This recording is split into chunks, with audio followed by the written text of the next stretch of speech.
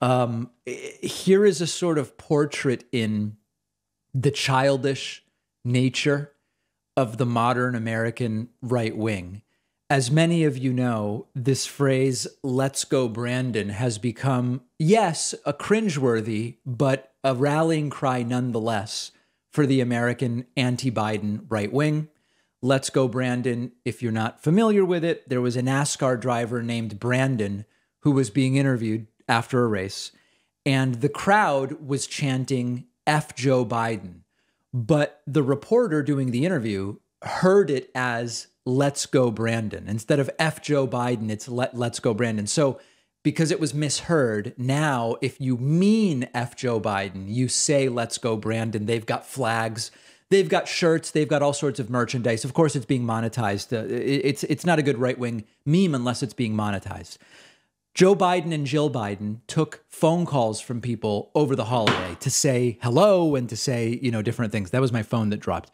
Um, and a guy got on the phone with Joe Biden and he actually said, let's go, Brandon. And Joe Biden, seemingly unaware of the meme, or at least choosing not to react to it, um, says, "Yeah, okay, let's let's go, Brandon." And the right is absolutely aroused and titillated by it. They are foaming at the mouth. They think it's great. Except now, the guy who did it, Jared Schmeck, is saying, "I was kidding, and it was just my free speech."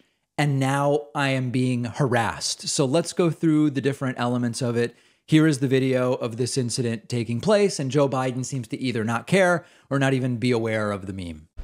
This isn't to you, Jared. This is to the kids. That's right. I hope you have a wonderful hey, Christmas. Well, yeah, I hope you guys have a wonderful Christmas as well. Okay. Merry Christmas and let's go, Brandon. Let's go, Brandon. I agree. hey, by the way, where are you in Oregon? Where's your home? I think we lost him. Yeah. Okay, so it's very dumb. I mean, if this is the big wow payoff, it's a very, very dumb payoff, but the right loved it. Here is Donald Trump Jr. saying it's amazing and Joe Biden doesn't know what's going on, et cetera, et cetera. I mean, who would have thought Joe Biden just gave guys like me the greatest Christmas present ever? He has no idea what's going on, folks. So I'm laughing and we're joking. Uh, and maybe this guy, the guy who yelled out the let's go Brandon, that guy's a hero. Not all heroes wear capes, unless this guy's wearing a cape, uh, which he should. Uh, absolutely amazing. Yeah. So listen, first of all, if Joe Biden really didn't recognize, like, let's assume Joe Biden's not doing a poker face here. Let's assume he really doesn't recognize the meme. I don't care whether presidents are aware of the memes about them and the jokes and the insults about them. I really don't care. I care about policy. And I have many criticisms of Joe Biden about policy, which I've made on the show. But I don't care if Joe Biden doesn't know about this. If he does and he just kept a poker face, that's even even funnier. But the really funny part at the end of the day is the reaction from the guy who did it. Uh, Jared Schmeck, who is the guy that did this, claims he is, quote, being attacked for utilizing my freedom of speech after he essentially told the president to F himself.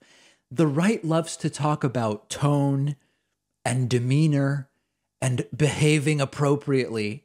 And what the guy essentially did is tell the president to, to his face to go F himself. If you have respect for the office, remember under George W. Bush, oh, even if you don't agree with the specifics of going to Iraq, you must respect the office. It's another one of those values they don't really care about. Uh, now he sort of says that he was kidding. He says it was just a joke. I don't know what the joke exactly is. And he says it was a reflection of his frustration with Biden's policies, including federal vaccine mandates, inflation, and global supply, supply chain problems when I watched that video, it didn't seem like when he said, let's go, Brandon, that's what he was talking about. Schmeck went on to say, at the end of the day, I have nothing against Mr. Biden, but I am frustrated because I think he could be doing a better job. Schmeck is 35 and is a former police officer now working for the electrical company and says, I mean no disrespect to him. Saying F you to the president seems disrespectful if you're talking about respect for the office. He says, I understand there's a vulgar meaning, but I'm not that simple minded, no matter how I feel about him. Uh, just unbelievable. Unbelievable. Um, it's uh, it's another one of the. Oh, he clarified he's not a Trumper, but is a free thinking American and follower of Jesus Christ, and says I'm being attacked for utilizing my freedom of speech. Once again, freedom of speech doesn't mean freedom from the consequences of that speech. When you go and tell the president to his face to F himself, there may be people who don't like that, and that speech might have consequences. There's no violation of your First Amendment. The government is not limiting or abridging your, your ability to speak in any way, but there simply may be consequences. So, this was his big moment. Donald, he, he got an attaboy from Donald Trump Jr., and he's also getting a lot of people responding and saying, you know, that, that was actually pretty lame. Uh, nobody has violated his ability to speak. In fact, most people never get the opportunity to say anything to the president. Jared Schmeck did, and he said, Let's go, Brandon. Make of it what you will. We have uh, a couple of, actually, I have like four or five different things to tell you about that are upcoming. First of all, we have sent out dozens of free t shirts to viewers. I made the offer a couple of weeks ago. If you grab a new full priced yearly membership on our website before the end of the year, I will send you a free t shirt. For a while, due to the pandemic, we were seeing major delays in shipping t shirts. The delays seem to be gone. Dozens of free t shirts have gone out. So if you want to take advantage of, of getting a free t shirt, you can't be uh, an existing member. This is for new members. You go to joinpakman.com you pay the full yearly price, not monthly. And then after signing up, email info at davidpakman.com. I will personally get that t shirt out to you.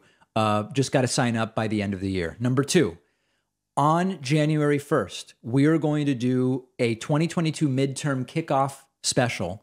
It's going to be an insane membership discount. If you'd like to be notified about it and to take advantage of it, just get on my newsletter at davidpakman.com. That's number two. Number three, the viewer town hall is rescheduled for tomorrow. Why? We wanted to do it a couple weeks ago. When I was on the road, my connection was terrible. We just couldn't make it happen. So it's rescheduled for tomorrow, 6 p.m. Eastern on the Pakman Live YouTube channel. And then lastly, we are also going to be doing the next, or I guess first for 2022, David Pakman Show chess tournament. If you want to play in the chess tournament, these are great community events. Everybody's welcome. It's going to be Tuesday, January 11th at 6 p.m. Eastern. I'll have more about that in the new year, but you can mark it on the calendar. The next chess tournament, Tuesday, January 11th, 6 p.m. Eastern. So we'll take a quick break. It's great to be back and so much to talk with you about.